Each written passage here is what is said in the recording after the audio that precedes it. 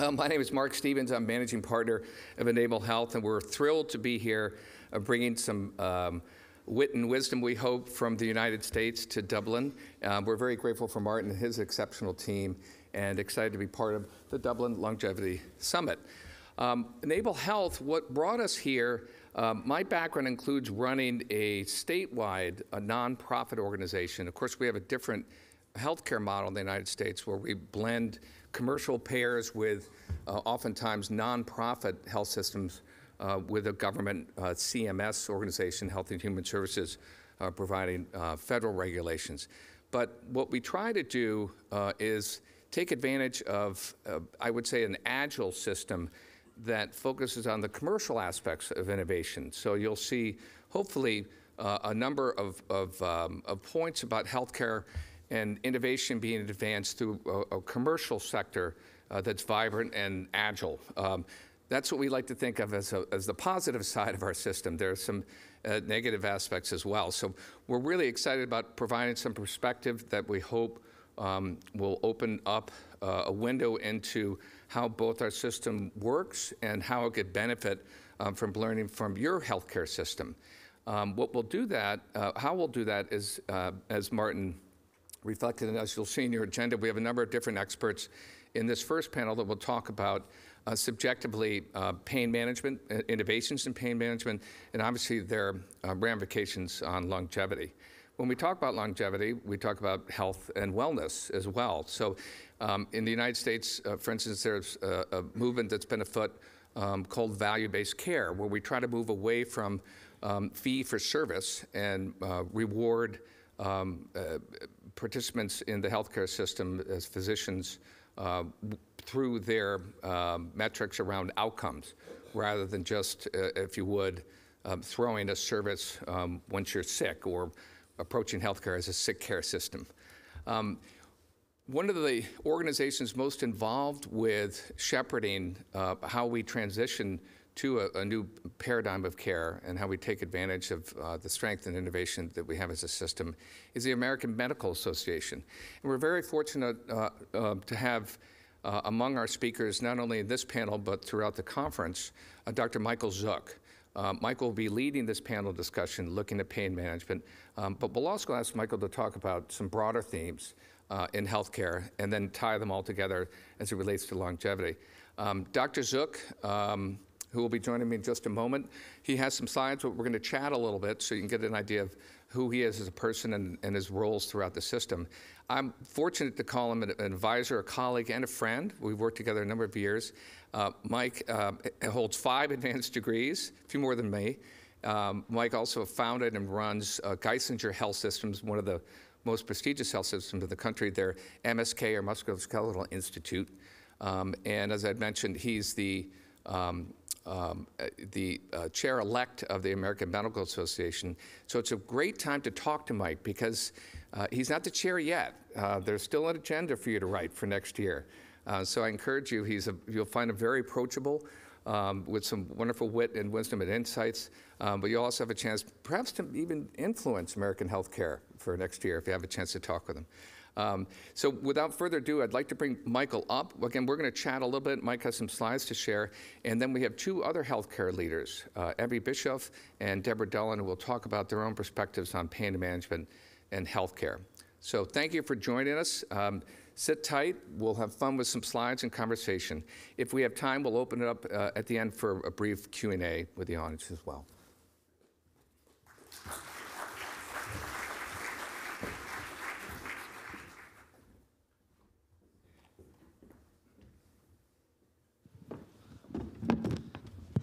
Thanks, Mark. Thanks for the uh, invitation. Martin, thank you for the uh, kind invitation to this particular conference in Dublin. You know, prior to the uh, work that I do at AMA, uh, I've been there uh, many, many decades, but also in the leadership for the past five years or so. Uh, this was actually on my radar before all of that. And so serendipitously, we get to talk a little bit about some of the work we do at the AMA. But uh, in my day job, I'm actually, as you know, an orthopedic surgeon, uh, and I have a great interest in both longevity uh, uh, the health span and the role of pain. And so we're going to talk a little bit about that, uh, more on the professional side, but I know you wanted to ask, uh, talk a little bit about some other stuff. Yeah, well, I, you know, so a little bit more uh, about how Mike and I got to know each other. Um, and, and the word innovation you'll find pops up a lot when you talk with Mike, um, because um, I think what you'll find with all the speakers uh, that we have today is a is an interest in in solving problems. And um, Mike, you know, uh, having worked with you, um, I, I've been fascinated by your interest in innovation and specifically your interest in early stage companies and how those breakout technologies and, and, their, and the entrepreneurs who create them uh, have the potential to transform our healthcare system.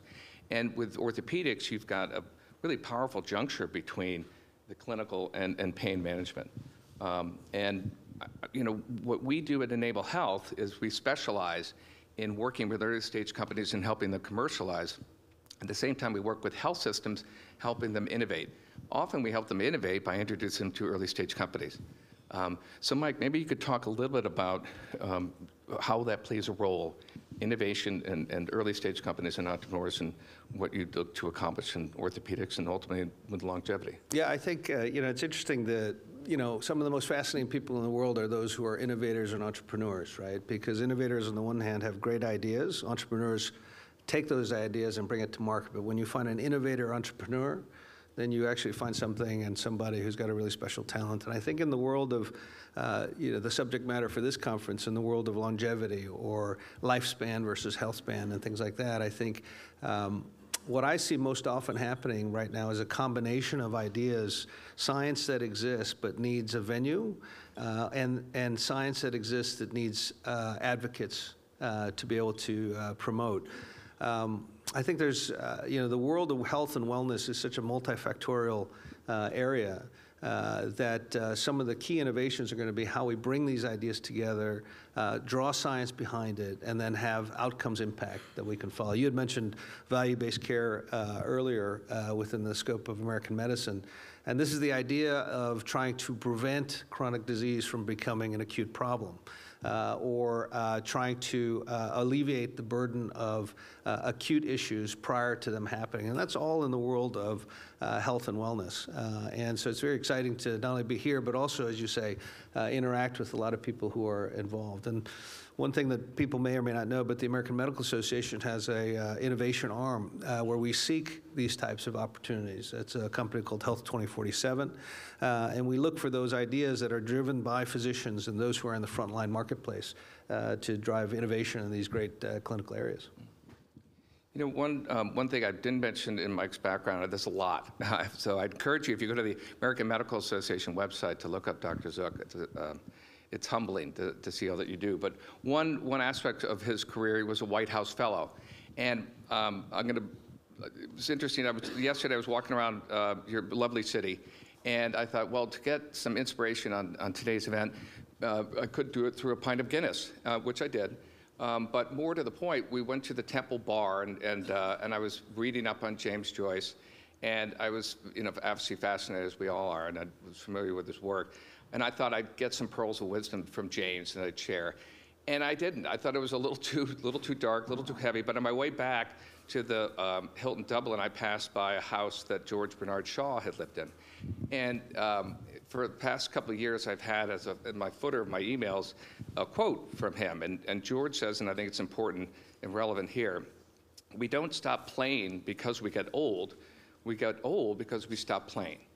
And Mike, when you were a White House fellow, you talked about the importance of unstructured play, of, of outside activities. Can you tell us about that? The, we have a, we oftentimes, it's, it's referred to as a sick care system, um, not a healthcare system in the U.S. So what role does health and wellness play and things like unstructured play? Yeah, I think uh, you're, you're referring to a time that's now a couple decades ago, but it still uh, is with me. Uh, so as you mentioned, I had the opportunity to work in uh, in uh, in the Bush uh, George W. Bush administration as part of his larger White House Fellows program, and my assignment happened to be at the U.S. Department of the Interior. For those of you who are not familiar with the United States, that's really the parks and the lands and the forests and things like that. And so, what I was able to begin and initiate at that point is something that actually Europeans are very uh, facile with now it's the idea that outside nature has a role in your natural in your health. Uh, and amongst some of those uh, aspects of not only just being outside, but it's the idea of being outside and not really having an agenda to do anything. And so this is this idea of unstructured play, which we know now through many decades of evidence has a significant role uh, in playing uh, a positive influence on your quality of life. Uh, and I think all of those things, again, as I related to before, I think need to be brought into the larger scientific discussion as well. Uh, and we're seeing that more and more where there are now peer-reviewed journals that talk about aspects of things that we used to say are just soft science. Uh, but now actually has a very important role in this larger picture uh, of how people live uh, not only longer in terms of time span, but also uh, better quality of life. And, and one final point on that, I know we worked on some initiatives during COVID uh, that focused on esports and connecting with a with a, an environment where it's very difficult to get out and socialize. Opportunities, particularly for seniors, through esports to maintain um, a sense of community and, uh, and connection. Anything about esports? Yeah, you know, the esports community is the, is the, for me personally, one of the strangest phenomena that I ever saw, right? It's uh, this uh, emergence of the esport athlete uh, that is, uh, you know, heretofore we thought was somebody who was at age 45 living in their mom's basement uh, playing video games. Now this is an entire athletic competition, which is actually very interesting. Uh, and from an orthopedic perspective, it's, it's pretty interesting that we're seeing a tremendous number of chronic musculoskeletal diseases coming out of this. So you see carpal tunnel, you see back posture problems, and it's uh, to, uh, to the point where many of these esports teams are now having their own physical therapists, they're having their own athletic trainers, and I'll tell you, it's a, it's a fantastic way, I think, to, uh, to be able to disengage uh, potentially uh, and uh, participate in athletic sport that we hadn't really thought about before. Before you start your slides, let me say one word, and I'd like to see your reaction. Uh, pickleball. Yeah, so pickleball is, uh, raise your hand, I can't see anybody, anybody play pickleball in here? Okay, just a handful. You know, this is the fastest rising sport in, uh, in certainly in the United States, I think maybe globally. Started by a family in Colorado, I believe. They just decided in their backyard to draw a little court and play with a little plastic wiffle ball. Uh, but it is the number one rising, uh, fastest growing sport in the United States. It's also the number one uh, rising cause of musculoskeletal injury in the United States. So for an orthopedic surgeon, this is an interesting age- at all phenomenon age at all age groups. Uh, and it's a great way to stay, I think, active and healthy. Excellent. Well, thank you, Dr. Suk. Now, I guess we have a slide presentation. Yeah. Um, let's see, I'll get up here. Okay. And following Mike's slide presentation, we'll invite Deborah Dullen to join us. Oh, sure. So I wanted to switch gears a little bit, and this was the original invitation to come and talks a little bit about what I do on a professional basis. And this is a talk that I had given, or at least a topic that I've been interested in for many, many years. It's about the issue of turning the pain curve. Uh, is it possible that we can move into a painless or a pain-free future? Uh, and what does that look like? And I just want to draw a few things that we're working on, a few things that are happening on the horizon uh, that could be related to this. So when you look across the lifespan, uh, it's an interesting thing. We talk about quality of life, we talk about the defeat of chronic disease, we talk about this idea of uh, compression of morbidity. And this idea of compression of morbidity is that uh, James Fries at, uh, at Stanford University proposed a theory which basically said the end of life right? At the beginning of the end of life is compressed into the last couple years of life. And that's usually triggered by some exacerbation of chronic disease.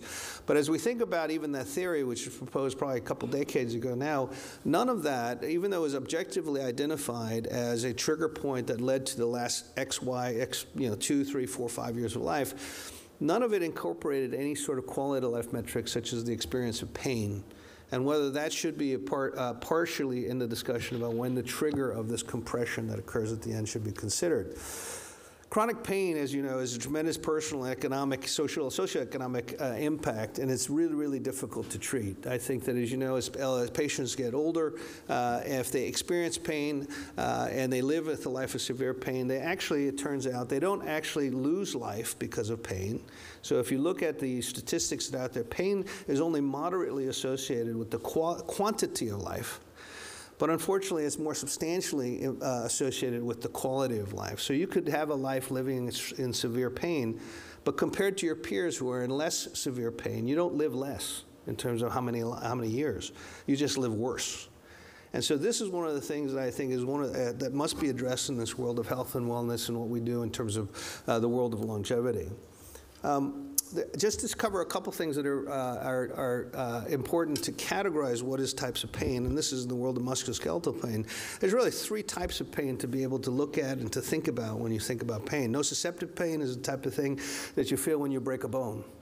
Neuropathic pain is a type of thing like a chronic uh, back pain or something that goes down your leg or carpal tunnel. And nociplastic pain is a slightly different uh, set of pain that inclu- includes a number of different social factors that can be uh, addressed that exacerbate the world of pain or the experience of pain. Things like mood, depression, uh, and attitude, right? And so if you look at pain itself, if we're looking toward a world of pain uh, of a pain-free life, we need to break it down to categories that we can fix or we can identify and try to address. Our uh, conventional treatments for pain are really fairly simple, even in 2023. We use conventional medications, right? We use pills, uh, we use injections, we use medications that, numb, uh, that dull the nerves. We have alternative methods such as TENS units or electrical stimulation that can uh, trigger a, nerve ending to, uh, to desensitize it. Uh, we can use things like acupuncture, psychotherapy, uh, and sometimes now we are actually mixing medications together and using it topically to eliminate or de- decrease the sensation of pain.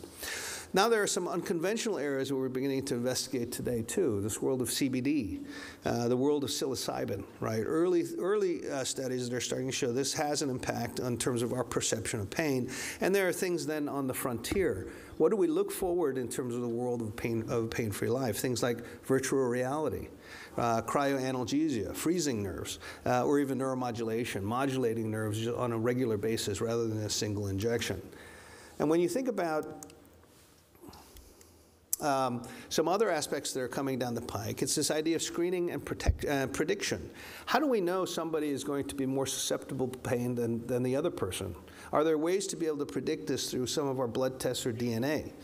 And what we're finding is that in the world of precision medicine, we're actually identifying certain nerve, uh, neuro, neuroreceptors uh, with our present in each individual human that tell us whether or not they have a higher propensity to perceive pain or not.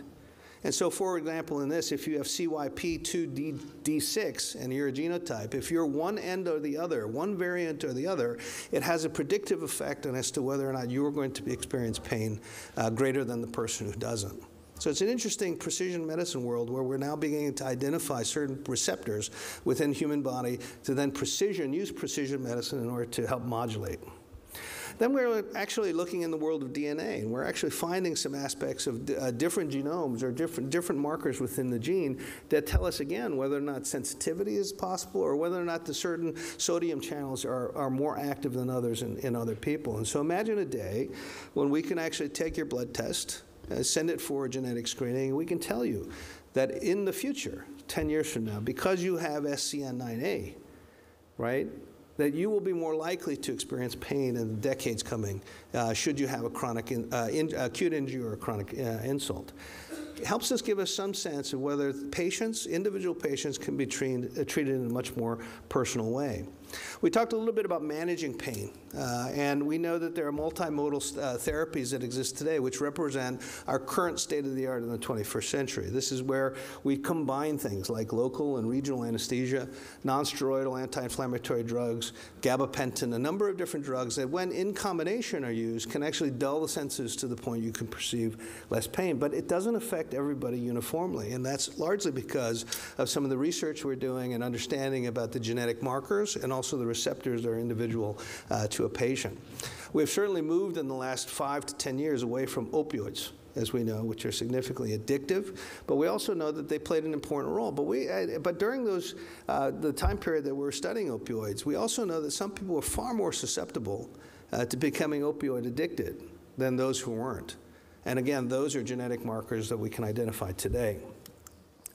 What we're at, I think, in, right now is the event horizon. And if an event horizon for those astrophysicists out here is at that point of no return when you approach a black hole right? At some point, at either you're either going to go into the black hole or you can escape. And I think in the world of escape from a black hole, and we call a black hole this world of pain, what are, what are we about to start getting into? Well, first of all, I think there are new modalities and applications that have just started to come out.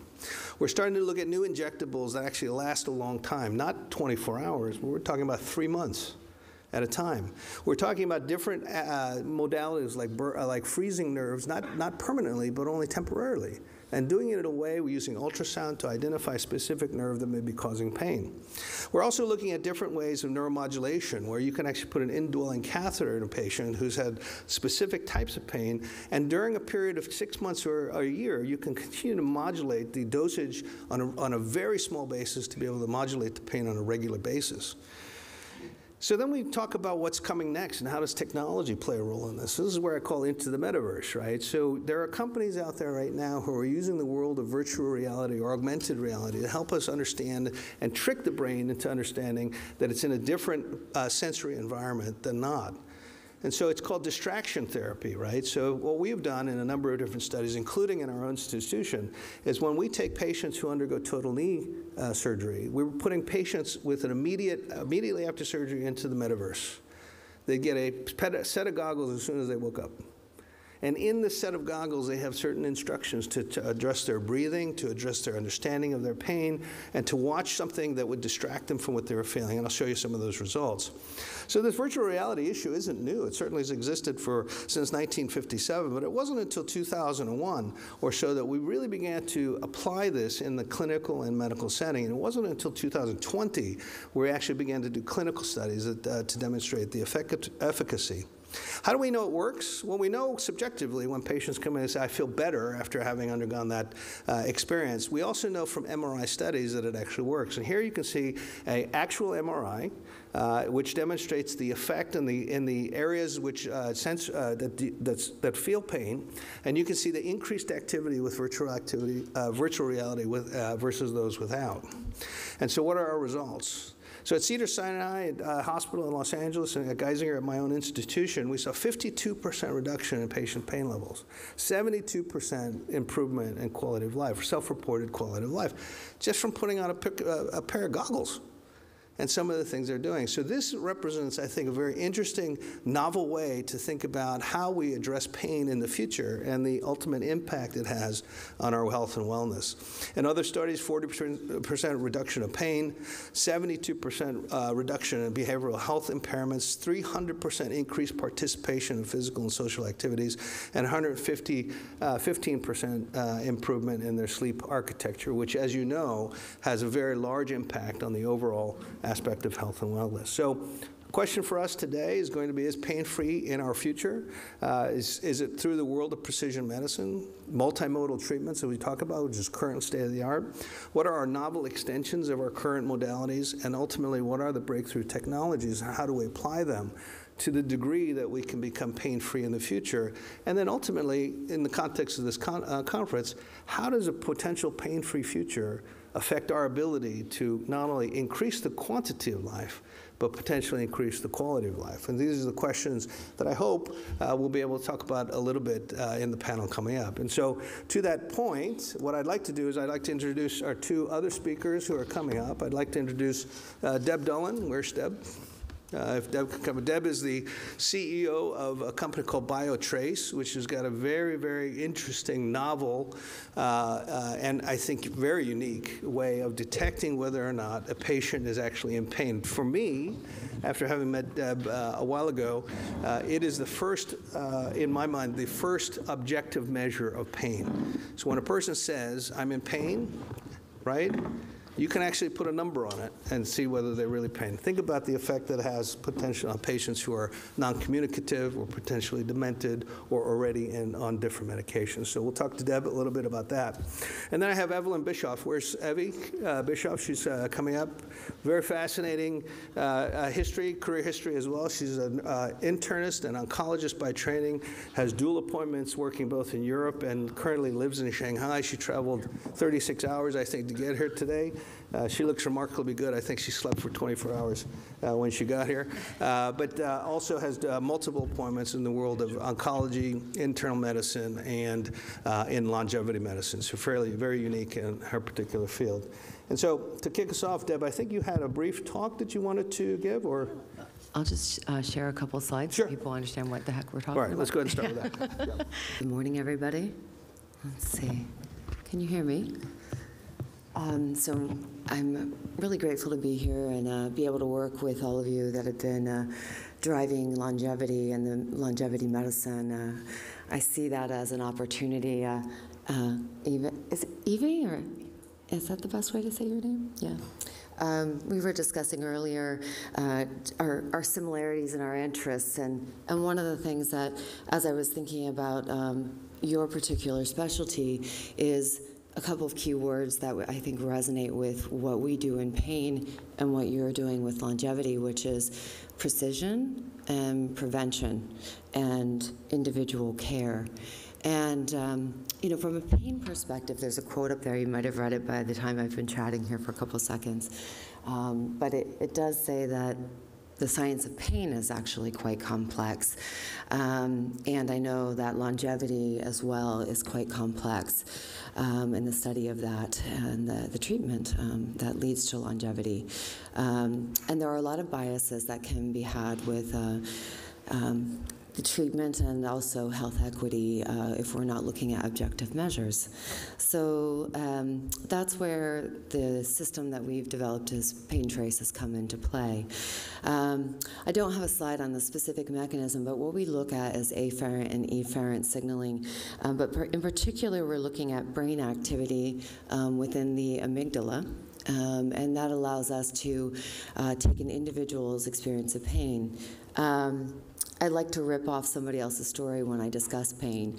Um, and it's uh, uh, Dr. Moseley, who is a neuroscientist. Uh, and the way he describes pain is related to his experience of I was walking in the bush one day and I felt something on the inside of my right leg. And I looked down and it was a brown snake.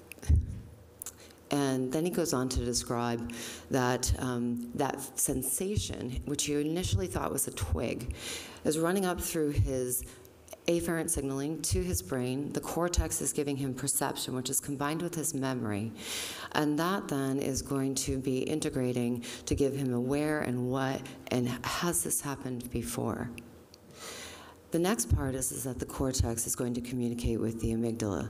And on the left hand side of the amygdala is your affective state, which is going to be your emotion. It can be fear, it can be anxiety, it can be happiness, um, excitement, but affective. And your emotion plays a very large role in your pain experience. So we've got contextualization, and we've got memory, and now we've got emotion cortex and left amygdala.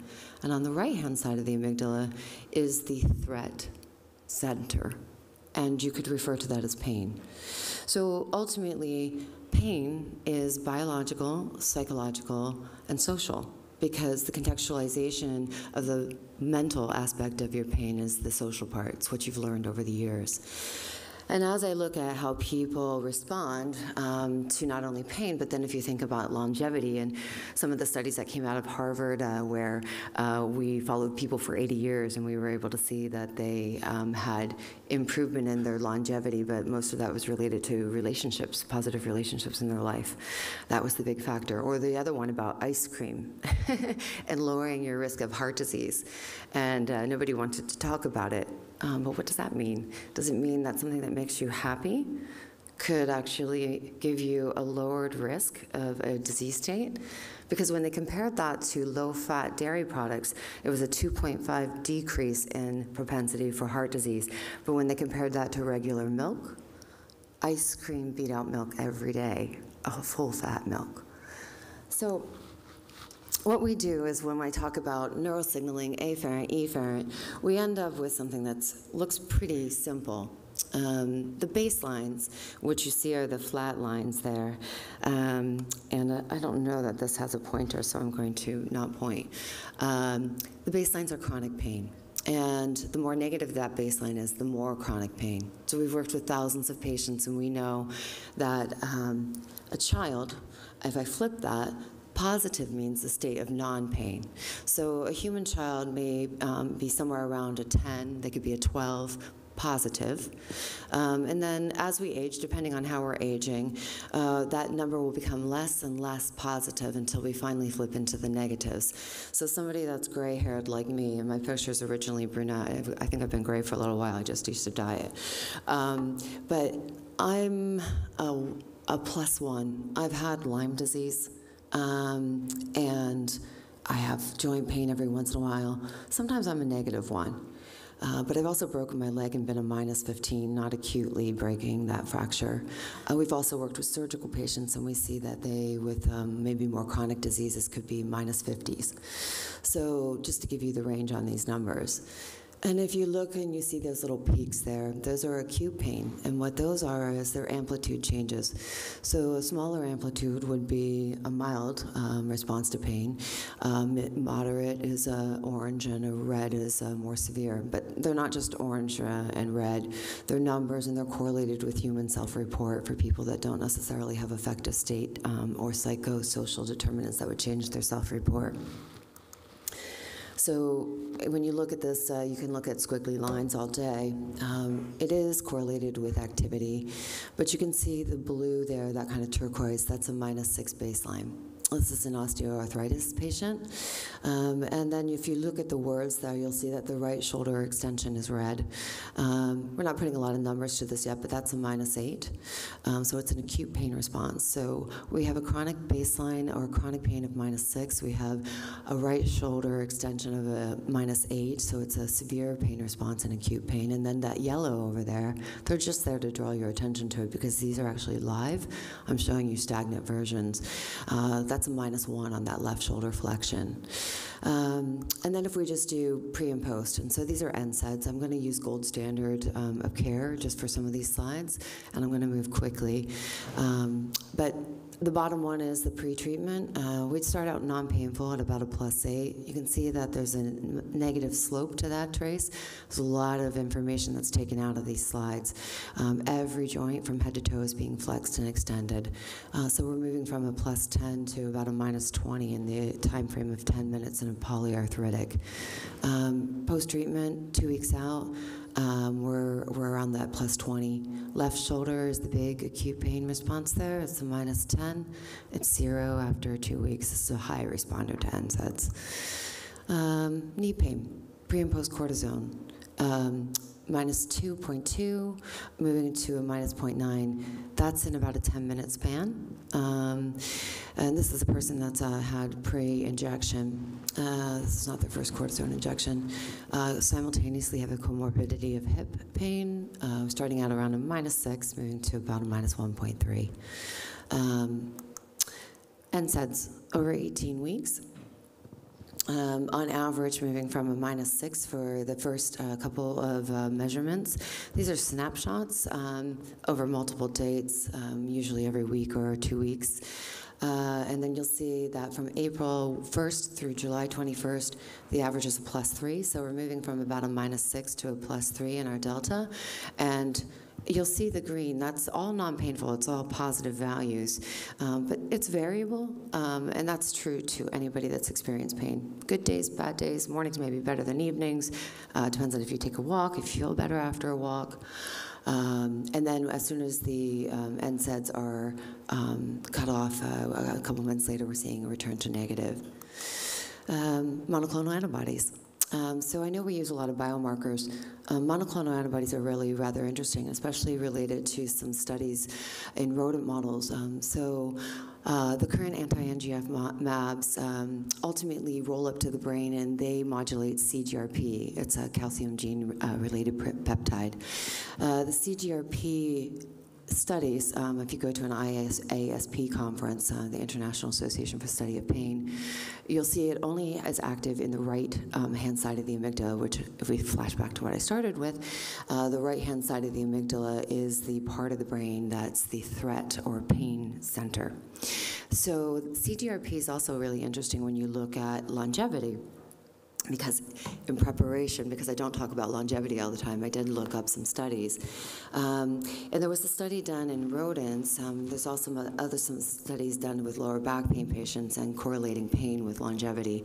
In women in particular, um, they found that there was a direct correlation with back pain and a decrease in lifespan.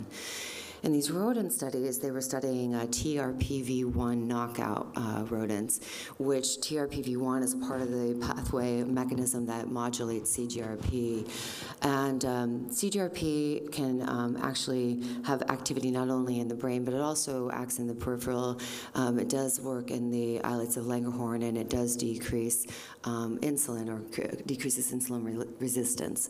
Um, and they found that that um, had a very direct effect on um, the lifespan of these rodents. It increased the lifespan by 15%. There was a larger effect in the female rodents, interestingly enough, because usually things are more male um, positive for a lot of these studies. So I was like, as being a female, I was like, woohoo, um, go, go females. Uh, for we once, we, something worked for us. Um, but additionally, I think the, the other aspect of that is not only did it increase lifespan, um, but it also uh, showed that the mice into age, into old age for the mice, um, had um, improved or maintained uh, metabolic rates um, which is interesting from a longevity perspective as well.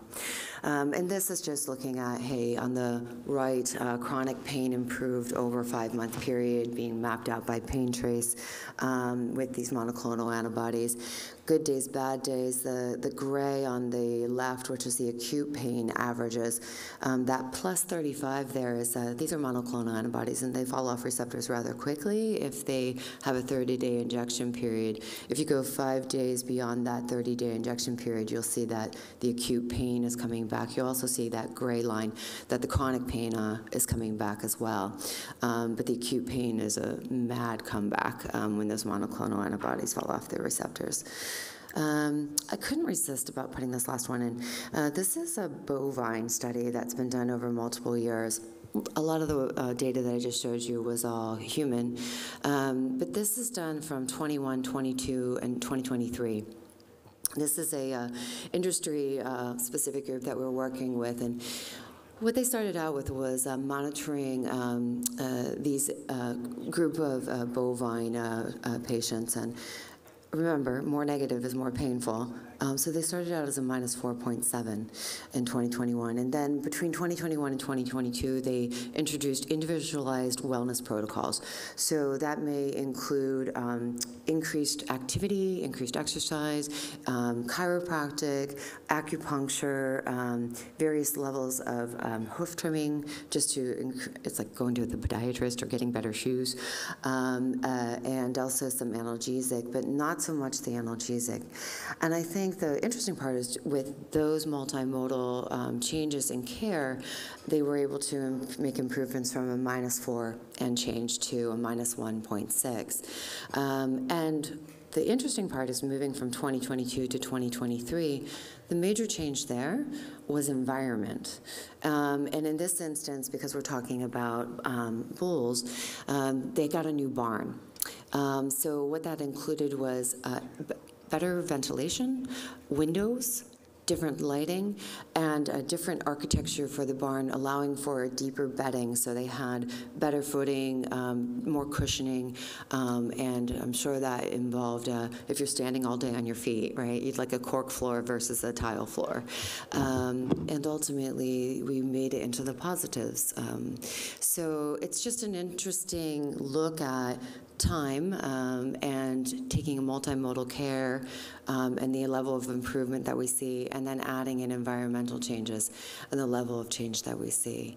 Um, so I'll leave it at that, um, but I think that we have a very unique and important opportunity to work together.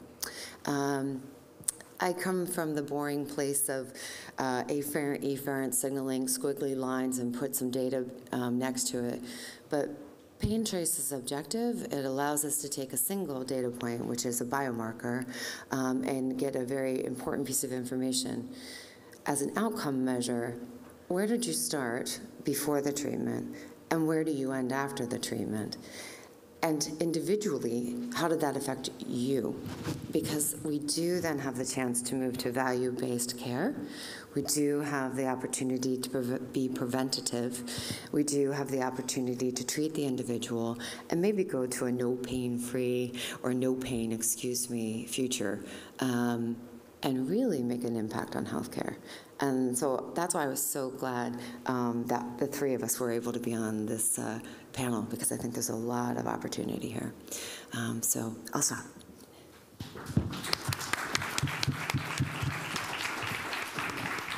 Deb, thanks for that. And uh, I think as we talk, and there's more opportunity to catch up with you, I think afterwards to talk about this novel technology. But I want to turn to Evie. Uh, I know you don't have any slides prepared, but wanted to just pick your brain about this world of longevity and its connection, just overall from your perspective. You're an oncologist, you deal with cancer pain.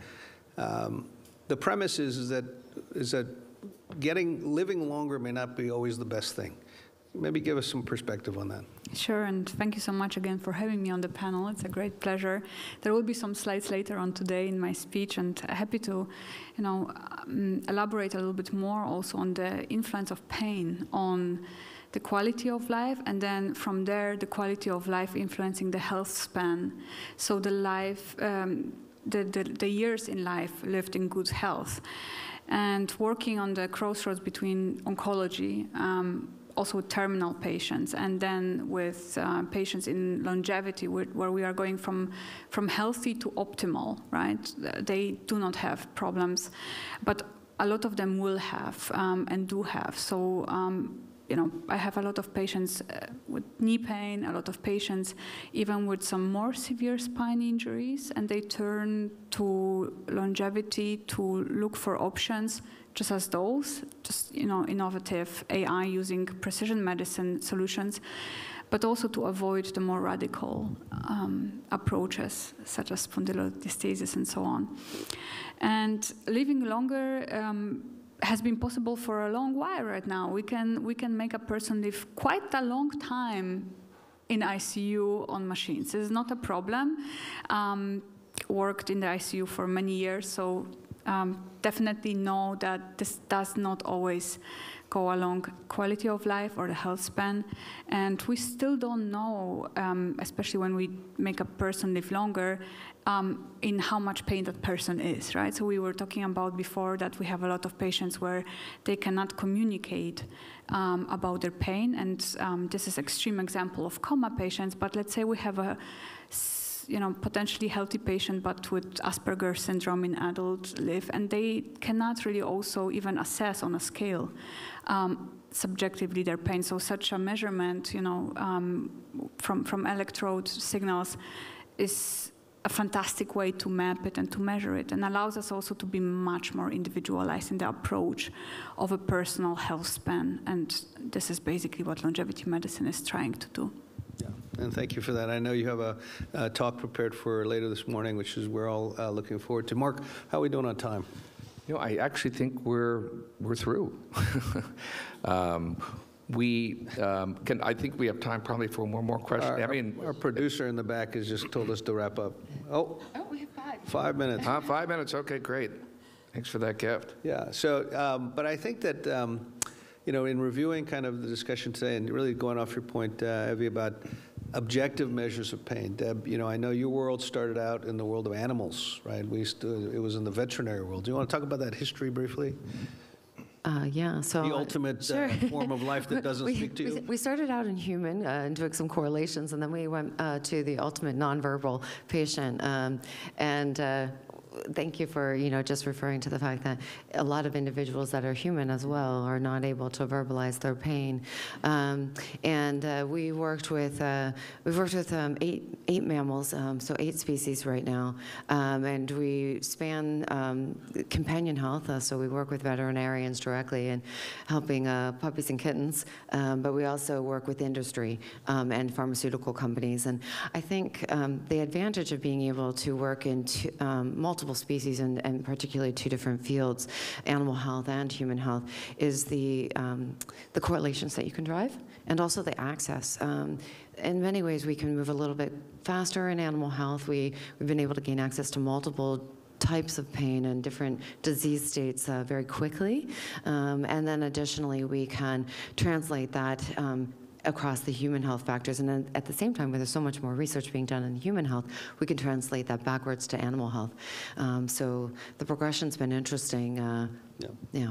Well, when you combine the, the option of really the spectrum that we just talked about, the idea of being able to identify early through precision medicine whether people are going to be uh, accepting of a certain treatment, and then you expose the world to say to determining whether or not patient who reports pain are really objectively in pain, and then expand that even further to those who can't communicate, particularly at the end of life, right in the ICU. We hope that they're not in pain when they're in the ICU, but we just don't know. Uh, and then moving to the world where, we actually understand that. And then, I think, Deb, this is the next place for your technology, determining whether the treatment actually had the positive effect. Because imagine a world, folks, where we would give a particular treatment for pain, and you can actually watch it physically work and have an objective measure for that. So, Evie, does that change the way you look at the future as well when it comes to some of these things? Absolutely. You know, you touch on so many important points. So I think uh, pharmacogenomics will be the next important thing also in pain management. Really, longevity medicine is about mitigating the risks of a specific disease, syndrome, or condition that includes pain. So knowing that the person is more perceptive to pain and not dismissing him as a phantom uh, no, or, or as a simulant will have a major impact on how we deal with patients in the sick care um, setting. But also as you mentioned, objectively measuring pain will also help us really to maybe better adjust the biofeedback based or other intervention based for those people who have phantom pain. So we were talking about veterans and soldiers. I think that's a very important group, uh, but not only those, right? Anybody who had amputation, and we have so many diabetic patients undergoing that. So it's being very much um, uh, not looked at, and I think that is really the future. So being able to objectively measure the pain, the response uh, to treatments, and also to help the patient really to biofeedback is something that um, that will help us to really guide the therapies. Can I oh, just add on real quick? So regarding veterans too, uh, uh, PTSD plays a very large role in their pain experience, and we've been working with E EMDR more recently, which is eye movement um, therapy. That's a, a whole other realm, which is the neuromodulation aspect of, of pain. There's so many opportunities. Yeah. Yeah, Dr. Bischof, I, you joined us uh, today from China, and uh, I think context matters. What can you tell us about uh, China's approach to longevity? How, how does it differ from the United States and from Europe and, and in bitter and, and other ways? Oh, with great pleasure. So China is definitely one of those places where almost nothing is impossible in terms of biotech and innovation. They are extremely um, well prepared to optimize things very quickly. So everything is going digital. There are 400 plus internet hospitals, meaning hospital buildings run by AI only, zero humans, and so on. Um, but in terms of longevity medicine, I think what is very much visible there is uh, the contrast because on the one hand you have the top AI implementation and biotech, robotics, AI labs um, in in the clinic, and a very good network of collaboration with um, industry as well.